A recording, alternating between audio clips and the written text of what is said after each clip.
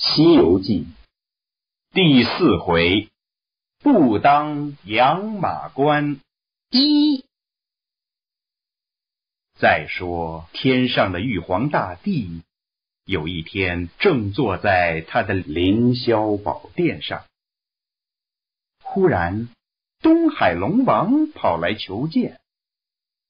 原来老龙王是来向玉帝报告孙悟空大闹龙宫的事。玉帝问道：“这只妖猴怎么会有这么大的本领？”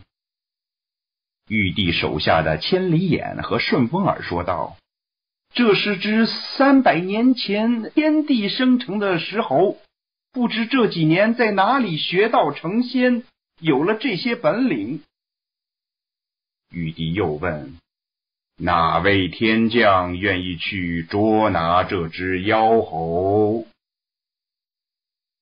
太白金星站出来说道：“这只猴子既然学到成仙，又有这么大的本领，陛下可以把它叫上天来，养在天上。”以后如果再闹事，捉拿起来不是更加方便？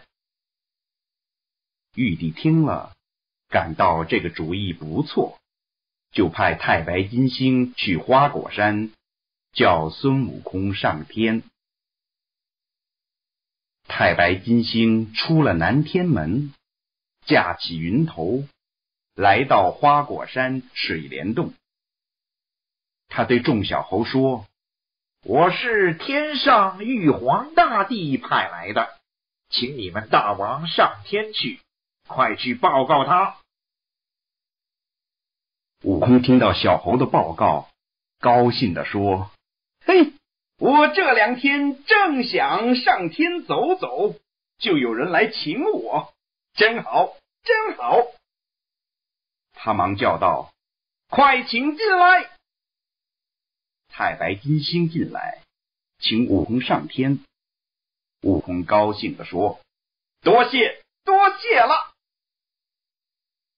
太白金星说：“啊，玉帝正在凌霄宝殿上等着你呢，请大王赶快动身吧。”孙悟空叫来四将军，吩咐说：“你们在家管着小猴。”等我上天去看看路，好带大家上去同住。太白金星和悟空出了水帘洞，架起云头，来到空中。悟空的筋斗云特别快，金星哪里跟得上，被悟空远远的甩在后面。悟空到了南天门。收住云头，正想进南天门，被守门的天兵天将给挡住了。过了一会儿，金星来到，悟空不高兴的说：“你这老头，怎么骗我？你说玉帝请我，却怎么叫这些人挡住天门，不放我老孙进去？”